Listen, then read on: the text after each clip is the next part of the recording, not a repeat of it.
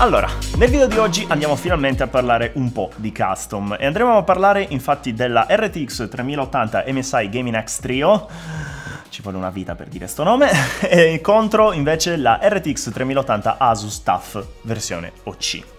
Sono entrambe schede molto molto interessanti e in realtà vi dico che alla fine di questo video capirete che probabilmente la scelta più opportuna è quella fatta col cuore e col portafoglio piuttosto che con eh, effettivamente eh, un motivo specifico derivato da prestazioni o altro, ma ci arriviamo, ho fatto veramente tanti test, quindi se mi seguite avrete veramente l'opinione definitiva su queste due schede e non vi servirà sapere altro oltre a quello contenuto in questo video. Partiamo dall'estetica che è assolutamente non la cosa principale con cui la gente compra le componenti. Oh mio dio è bruttissima, ma funziona benissimo, no è bruttissima, va bene. Per quanto riguarda l'estetica siamo in realtà di fronte a due campioni effettivi. Allora per quanto riguarda la Gaming X Trio, un design un po' più aggressivo, con più RGB ed è anche un po' più corpulenta. Invece per quanto riguarda la Tafo C un design un po' più elegante, minimale, un po' più solenne, che entrambe quindi hanno il loro punto di favore in determinate build e il loro punto di svantaggio in altre, quindi diciamo che qui, come ho detto, si va col cuore quella che vi piace di più dal punto di vista estetico, prendetela. Se dovete valutare soltanto questo campo, ovviamente. C'è a dire una cosa, la Gaming X Trio viene commercializzata come una scheda con un backplate in grafene e questa cosa dovrebbe avere anche dei tecnicamente, come detto da me, sai, vantaggi dal punto di vista della dissipazione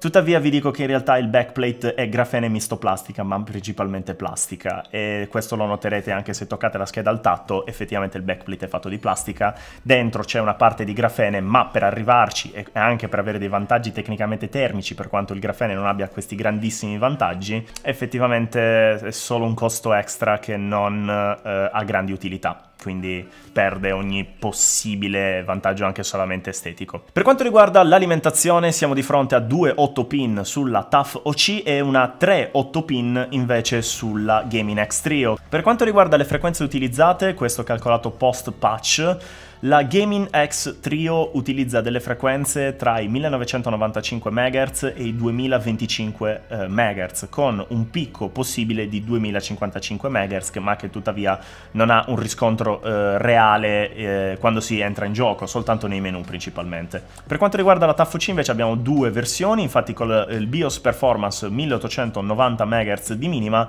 e 1935 MHz di massima, e invece con la versione Quiet BIOS semplicemente semplicemente si riduce di pochi megahertz con 1885 MHz di minimo e eh, 1920 MHz di massima. Semplicemente la versione Quiet BIOS e Performance BIOS differiscono di circa 15 MHz di media e quindi non c'è una grande differenza. So che molti di voi mi hanno sentito dire nel video in cui analizzavo le differenze pre e post patch della Gaming X Trio che questa non cala sotto i 2000 MHz, tuttavia è normale che in certe situazioni la frequenza si riduca perché non è richiesta una certa tipologia di operazione alla scheda, pertanto è normale che scenda sotto i 2000 MHz, tuttavia quello che eh, si è voluto esprimere in quel video è che effettivamente la scheda lavora tranquillamente sopra i 2000 MHz e che la patch non è stata abbassare i due, sotto i 2000 MHz per risolvere il problema dei crash, ma semplicemente mettere dei driver più stabili che sostenessero il carico anche sopra i 2000 MHz senza addossare la colpa ai ehm, condensatori che invece lavorano bene. Per quanto riguarda il piano prestazionale, fuori dai test sintetici non ho notato una grande differenza tra la Gaming X Trio e la TUF OC. Effettivamente c'è una differenza di 1 fps, ma quando si parla di centinaia di fps già eh, buttati fuori, quindi effettivamente non, niente di che, niente di particolare, potete andare col cuore anche qui.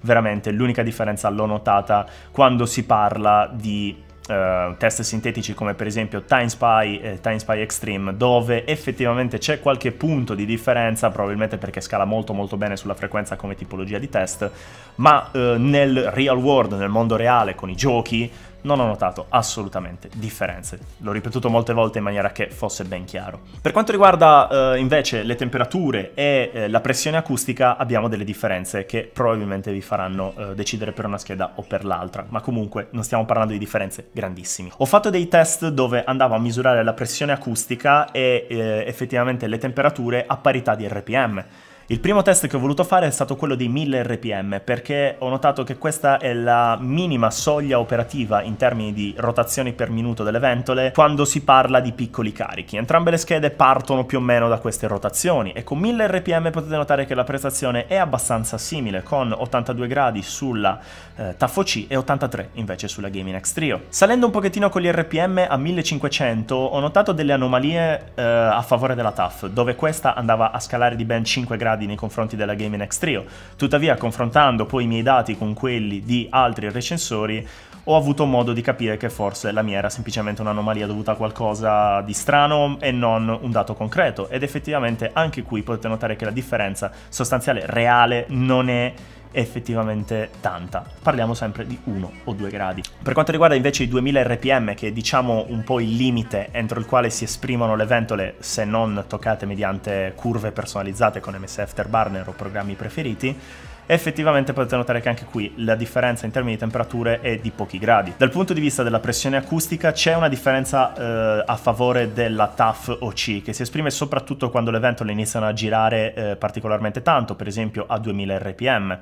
Tuttavia qui voglio fare una differenziazione. Come ho detto la TAF OC gode di due BIOS, una versione performance e una versione quiet BIOS. Per quanto riguarda la differenza tra questi due BIOS effettivamente è nell'utilizzo più o meno aggressivo delle ventole.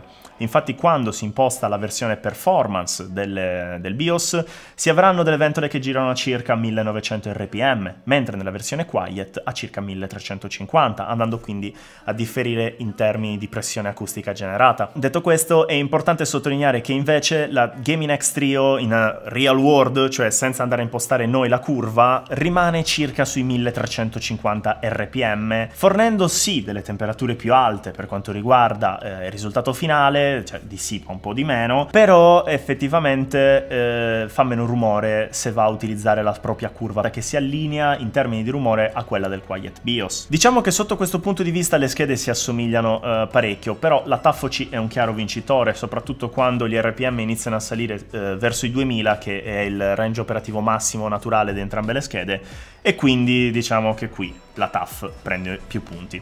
Allora ragazzi, le due schede le abbiamo viste, le prestazioni le abbiamo constatate e ovviamente la parola finale io la lascio a voi, vi dico soltanto delle constatazioni da utente diretto di queste schede e da persona interessata comunque a comprare una 3080. In questo caso chiaramente mancano molti modelli, mancano le PNY, mancano le Gigabyte, le Horus Gigabyte, insomma veramente tanti tanti modelli non sono rientrati in questa sfida che era un bipolio, perché purtroppo in Italia stanno girando pochissimi sample anche per il fatto che voi stessi non possiate comprare queste schede.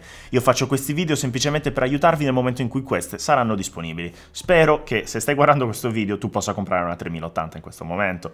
Spero per te per il mercato in generale, oppure, non so, altre scelte, Big Navi, vedi tu. Allora, in questo caso vi andrò a elencare soltanto i prezzi di listino delle due schede, perché effettivamente offerte altro, cali, warehouse deals, insomma ci sono tanti modi di accedere a dei prezzi inferiori sui prodotti, come per esempio il mio canale Telegram delle offerte che trovate giù in descrizione. Tuttavia, diciamo che i prezzi di listino sono questi. Per la RTX 3080 Gaming X Trio abbiamo 929 euro nel momento in cui questo video sta venendo registrato, ovvero ottobre. Per la TAF RTX 3080 OC abbiamo 899,99, quindi 900 euro tondi, e per la RTX 3080 TAF non OC invece 865 euro. Visti i prezzi, viste le prestazioni, lascia a voi la scelta definitiva. Ovviamente andate col cuore e col portafoglio, anche in base al momento in cui state guardando questo video. Magari le prestazioni sono ancora valide, ma i prezzi sono cambiati. Insomma, vedete voi. Insomma ragazzi, io per questo video vi ho detto tutto. Vi ringrazio per l'attenzione per essere stati con me. Voi siete stati su More Tech e ci vediamo al prossimo video e soprattutto quando avrò altre custom da poter comparare a queste in maniera da darvi lo spettro. Eh, più completo possibile per l'acquisto più intelligente e mirato alle vostre esigenze. Salamusa!